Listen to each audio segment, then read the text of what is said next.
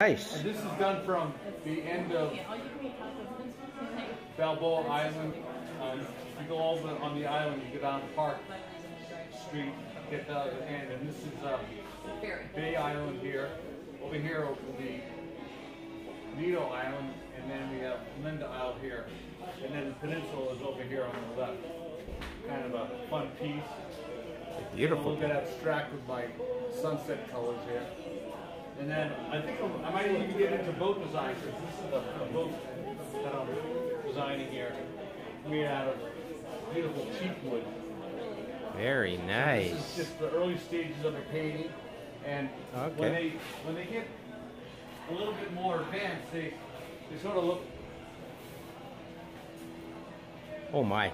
And this is a, a picture of Dana Point Harbor a lot of artistic license for flowers. And if you want to take a look at some other pieces here and have the camera come up, let's see if we can get the camera to come come up here. So you have a camera that's going through.